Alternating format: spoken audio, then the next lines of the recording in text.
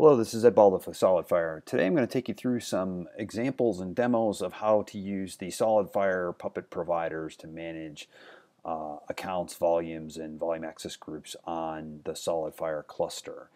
So let's begin with, uh, you can see I've got four windows here. Uh, the top two windows are logged into my Puppet server and the bottom two windows are logged into uh, two different clients. So we're going to kind of show you how to do this in two different ways here. So let's start by uh, looking at our uh, manifest uh, that we're going to use. Uh, basically, we're going to use the, make this window a little bigger, we're going to use the generic um, site uh, .pp manifest and, and I'll kind of walk you through what we've got going on here. So the first first stanza here is actually the second thing we're going to work on, which is um, where we define the, the node to be the name of the SolidFire cluster. Um, we're going to use the Puppet device con constructs to, to take advantage of this. But you can see I've gotten here defined for the node solidfire.balduf.local domain, uh, an account and a volume. You can see I've uh, titled this account um, the Puppet device here so that we know this is coming from the device construct and then we've named the volume um, dev-volume so we know that also is coming from the device construct.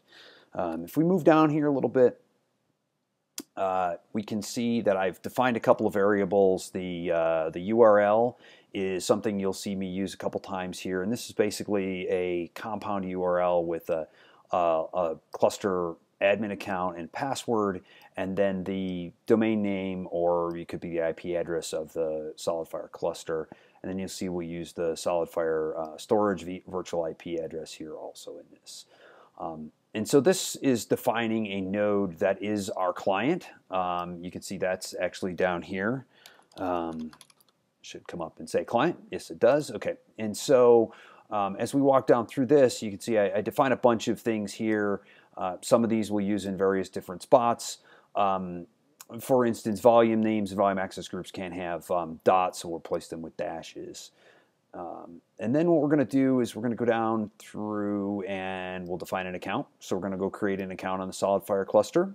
Uh, then you can see here we are defining a volume on the SolidFire cluster. And we'll continue down here. We set up a volume access group which we will include our actual initiator, which we defined up above here. That's the initiator for our client. Um, we will uh, use the volume, which we created above. So you can see uh, SolidFire volume is called out down here. Um, and then we're going to start executing some commands on our client to, to show some real usage for this, right? So we're going to go through and um, exec the iSCSI discovery. Uh, we'll create a mount point. Then we'll put a, a physical volume or a PE group on here, uh, make a volume group on that, that, that volume that we're creating. Um, we'll create a logical volume here, and then we'll go down, we'll make a file system, and we will, so here's the miking the file system, ext4, and then we will make a, uh, we will actually mount the volume up. So this example shows how you could uh, set up, a, a, and I'm going back up here in this, how you could set up a manifest for a certain client, uh, one of the servers in your, your network somewhere that needed to have uh, storage for a database. We're hypothetically setting this up or mounting it to something called database. And then the rest of your Puppet manifest for this, this node could uh, configure all the rest of the database goodness. So let's go over here and we'll start our um, our master server. We're going to start it in verbose mode and we're not going to put it in the background so we can see the outputs that are coming out of it. Um, we'll go down here to our client and uh, what we're going to do is, I mean, if it all works well, this should be uh, not very uh, entertaining. Um, but uh, that's what we why we do these things to make this all out of magic. So we're going to run um, Puppet Agent. We'll run it in the test mode, so it'll just apply it now. Um, not go into the background and do it later. You can see our server um, jumped up and said it was doing some things, so it's processing the manifest and sending that process manifest over to the client. Um, the client's going down through here, spitting out some messages, um, telling us it's ensuring things are created. You can see those at the bottom. uh, at this point in time, it's uh, mounted the, the volume and it's, it's uh, creating the file system, which takes a little bit of time here. And there we have it, we're done. So um, you can see it's said all kinds of good things, but let's go see what we actually did. So um, if we go and do a, a, DF, we can see that we actually have our uh, database uh, group logical volume mounted on uh, Mount database. But let's uh, look into a little bit more of this if we uh, we'll do um, this. You can see that there is our uh, iSCSI connection to the SolidFire. Um, we've named things, so again, if we go over here to our, our uh, manifest, we can see I named things. Um, SolidFire account name here was actually the fully qualified domain name of this client, and that account name winds up right here in the, the um, string for the IQN. So um, we can also go look at the SolidFire itself. So you can see beforehand it had nothing there. When we refresh the uh, volume screen, you can see that we have a volume called client local domain SDB and um, we can actually see the account over here. So once we refresh this um, and we get the account name, then we go back over here to volumes. We should actually get the account name to come up here in the volume screen. Also, um, you see we've created a volume access group, so we can go look at those in detail. It also has client, the local domain. Um, if we edit that, we can see, you know, it's got the volume in here, and here's the actual um, IQN that we had up over here. So it did everything we expected it to do and mounted up our volume. So that's, again, it's not very uh, exciting. There's not a lot that happens there unless it was a demo and Murphy were to show up. So let's go look at the uh, Puppet device concept. So the Puppet device concept um, is such that uh, basically you have a different uh, client. It's called Puppet device, and it's a proxy for uh, the network device. And so it allows us to go back to the server. So when we run it over here, it will go over to the server. It will gather the information up uh, and and pull that back. So one of the things you'll notice up here is that in this manifest, uh, we had to put a URL. We put this URL that I defined up there in every resource that we define in here. When we look at the the manifest for the actual network node, you'll notice there's no login information. That actually comes from a file on this client. Um, so if we do uh, more of, you can see there is a device file here, and this device file gives us that URL. Um, so it has that URL all in that device file, and it's there.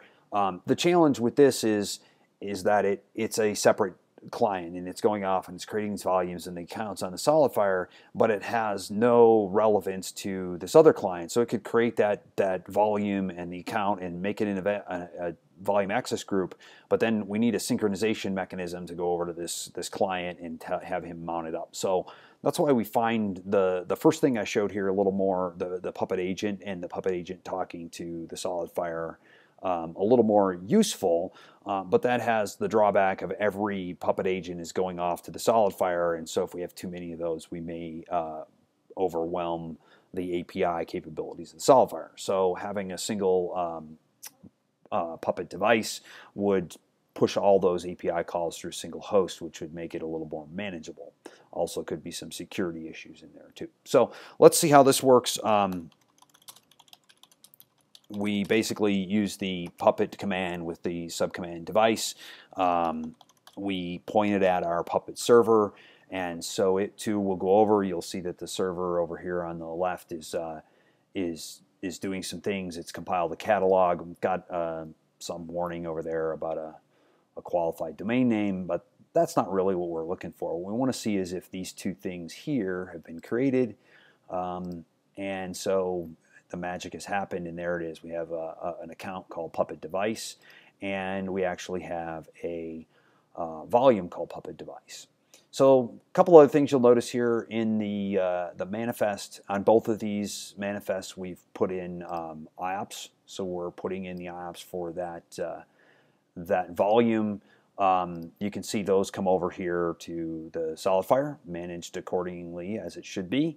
Um, and so one of the things we can do now is we could modify this this uh, manifest and make this, oh, I don't know, we'll just make these something so that we can tell they're different. And uh, we'll write that off. And now we'll apply this again. So again, we'll see some stuff come out of our uh, Puppet master here. Um, this is a, has happened. Of course, we need to um, refresh this screen. So we will do that. And you can see here that we've uh, done our changes to the um, quality of service as requested by changing the manifest. So again, it's changing the manifest on the, the Puppet uh, server. So um, one last thing, um, you can see we, we ran this twice and it did what it was supposed to. And now if we want to uh, remove that, that volume, we can change this to ensure that's absent. Uh, we can run this again and um, again it'll go off and, and, do its thing. It doesn't show much. Um, but if we go back to our volumes and we refresh it here, you'll see that it's gone. So we uh, obey the present and the absent commands in the manifest. So hopefully that was a, a good demonstration of what the newly released uh, Puppet modules for SolidFire can do. And with that, I will wrap up.